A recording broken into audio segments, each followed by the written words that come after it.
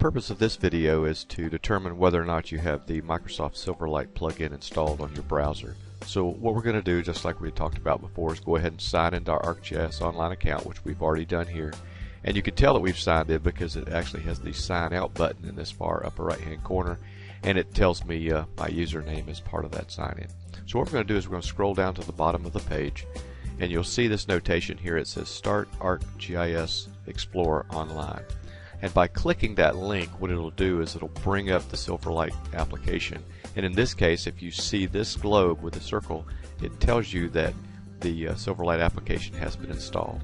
If you were to get the notation that you are uh, that you need to download and install that, what you'll probably need to do is go over here to the uh, the intranet site, pull down the departments, pull up IT, and then what that will do is take you to uh, the information technology page and then submit the work order.